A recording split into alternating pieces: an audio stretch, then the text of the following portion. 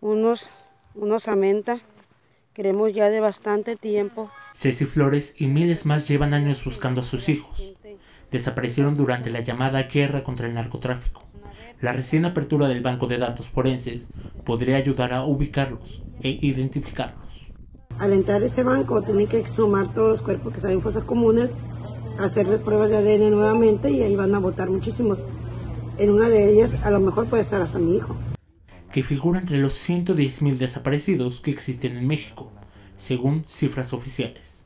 Definitivamente, todos los pasos que se han dado eh, hacia a tratar de atender y resolver la problemática de la desaparición de personas en el país se les debe a los colectivos de familiares de personas desaparecidas. Ahora lo que sigue es cotejar la información genética de los desaparecidos con la del banco de datos.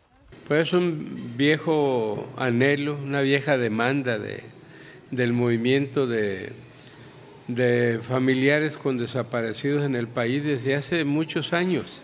Esto se está haciendo cuando ya ha colapsado de alguna manera eh, el registro y la existencia de, un sinnúmero de, de, cuerpos en los semefos.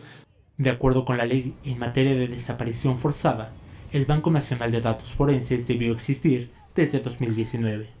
Han sido los familiares de los desaparecidos quienes se han ocupado durante más de una década de buscarlos por todo el país recorriendo fosas clandestinas, pero aún queda pendiente identificar los cuerpos hallados, cuya cifra supera los 50.000. Javier Egar, Voz de América, Ciudad de México.